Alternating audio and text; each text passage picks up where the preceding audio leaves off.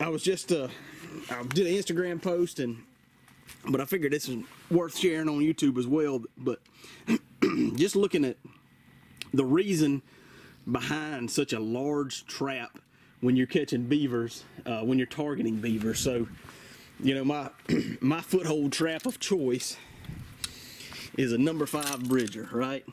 That's a seven and a half inch jaw spread. That's a large trap.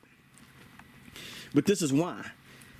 You look at these back feet, that's, I mean, that's, well, well, we'll get to that in just a second, but this is a beaver back foot laid over a one and a half coil spring. This is a Duke one and a half coil spring, and you can see there's a third of the of the foot still hanging outside of the trap. So you move over to a, a number two. A number two is big enough, right? Well, it could be. You've still got some foot that doesn't fit in the trap. You know, if he had his foot turned another way, or you know, all you need to catch is part of the part of the foot. And yeah, yeah, could be, could be. Um, but then you just lay that foot on top of your, and I mean it's still a stretch, but that whole foot will fit in there, right?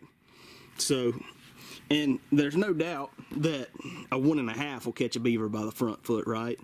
So yeah, one and a half would work, but why are you only trying to catch beavers 50% of the time? I mean, if you're even halfway serious about beaver trapping beavers, well, and why would you be trapping beavers if you weren't wanting to catch them?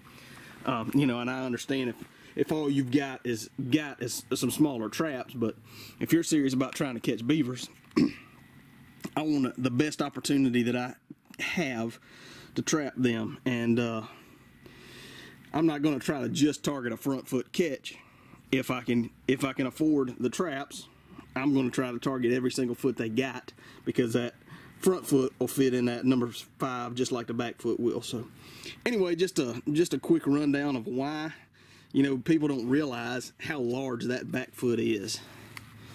But I mean that's that's as big as my hand beaver's back foot is insanely large. So the best, my recommendation is to use a large trap to make sure that you catch him by whatever foot he steps in your trap with.